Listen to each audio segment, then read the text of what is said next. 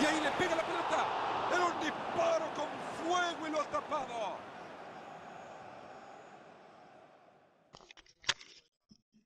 No, yo solo me comí uno.